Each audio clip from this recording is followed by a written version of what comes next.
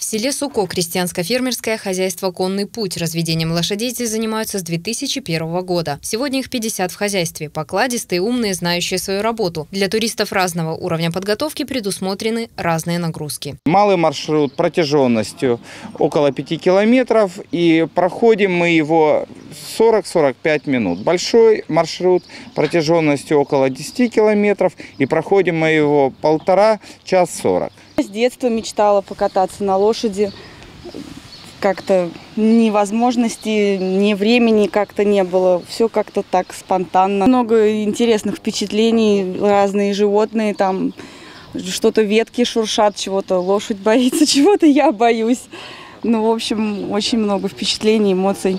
Кроме конных прогулок, на территории устроен деревенский уголок с небольшим хозяйством. Кролики, утята, козы, представители от клана диких животных, лисенок и всеобщий любимец – медвежонок.